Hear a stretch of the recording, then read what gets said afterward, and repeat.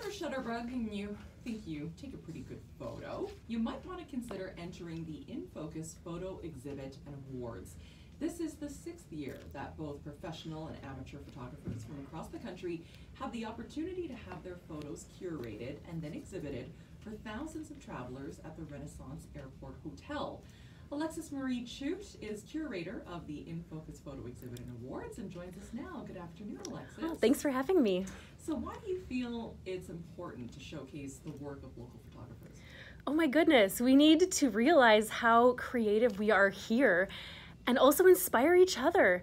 I think that's something that when you're a visual artist, like a photographer, seeing other work, being exposed to new kinds of photography, subject matter styles, mm. it's really exciting and it can give you new ideas and new inspiration. Yeah. Is this the kind of thing that you wish was around when you were starting out as a photographer? Oh, absolutely. I feel like I learned to get at my photography out there in the school of hard knocks. It was like I had to be banging on doors and submitting as much as I could and it took a long time. I've been a photographer for almost two decades, which makes me sound old, but it just, it was this endurance marathon. And I really want to help other people get to where I am further and faster. You know, I'm wondering too, just because I feel like it's something that everybody thinks they can do really well, like take an amazing photo. Everyone's got a camera, everyone yeah. is snapping pictures everywhere. Does that make it harder for you because of, you know, the advances in technology now? I think it makes it easier in some ways because we now have such a proliferation of images that people are able to look at imagery and say like, okay, this stands out or doesn't stand out for X, Y, and Z reasons. We're becoming very visually literate. Everyone thinks they're a photographer, and, and this is why I really challenge people to submit to In Focus. We have a different theme every year.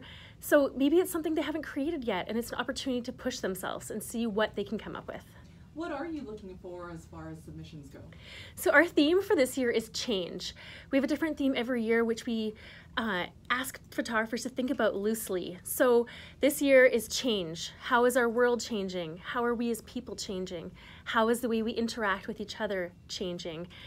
And how is photography changing? We've come a long way. I learned back in the dark room, I processed my own film, I developed my own pictures, and we, we all have a phone in our pocket now, right? Mm-hmm. so, so how, how are we changing as humans? Yeah, that's a, a neat topic because it, it, can be so many things. Mm-hmm. so wide, right? So I'm sure you're expecting all kinds of things. Yeah, well, I think we keep a, a broad topic so that we can welcome portraiture, landscape images, abstract photography, even things that are outside the box, you know, outside of the square of the photograph framed on the wall. Mm. We hmm. welcome photographic interpretations of all kinds. How do photographers submit their work? Yeah, so you just go to infocusphoto.ca and one submission consists of one to three photographs. You can submit as many times as you want and we ask for a little bio, so tell us, telling us a little bit about who you are, and a CV, which basically means what have you done with your photographic work in, mm-hmm. in the time that you've been doing it. Are there entry fees for that? Yeah, we do. I'm not a numbers person. I think it's 30 $5. And the fee that goes towards that is basically just to help us run the exhibition. My husband and I have done this for, uh, like you said, six years, and it's our labor of love.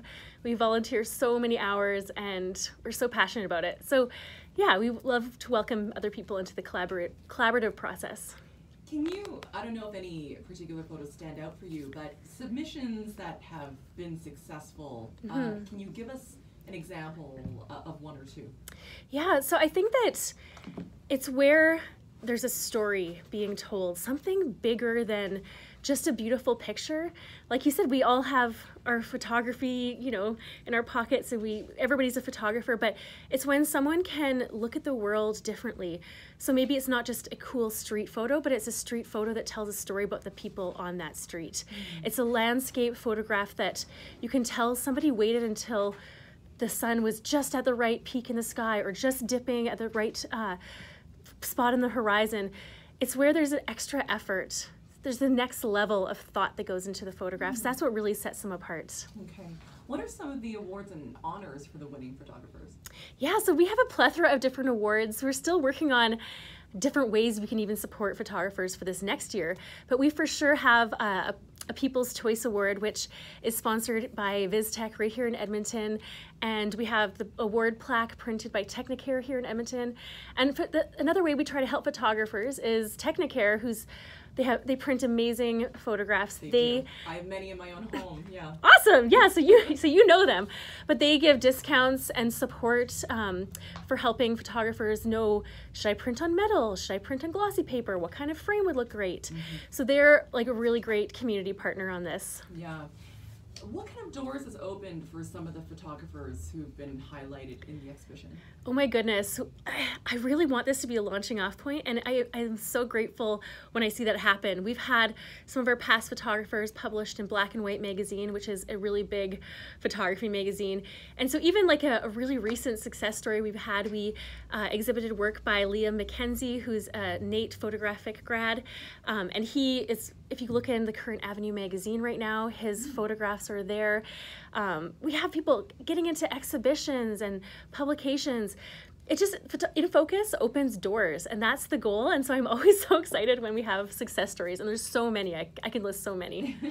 if people really fall in love with some of these photos, are they for sale or simply just for exhibit? No, they are for sale, and we really encourage uh, people who come, if you love a photo, you're supporting that photographer. The money goes into their pockets.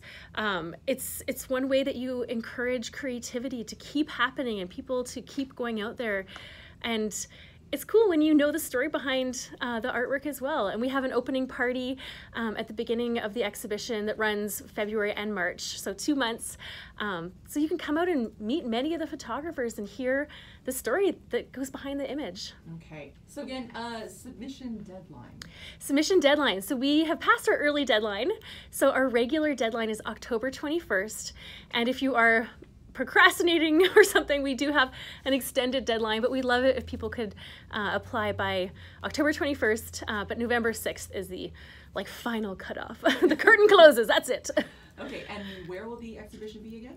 So it's at the Renaissance Edmonton Airport Hotel. So it's gorgeous new modern hotel which is connected to our airport and yeah, the number of pilots even coming through, even during our opening reception, it's so cool. The amount of eye, eyeballs that get on onto this work. It's awesome. Okay, well, can't wait to see what sort of photos make it into the exhibition this year. Thank you so much for coming on. Thanks for having me. I appreciate it.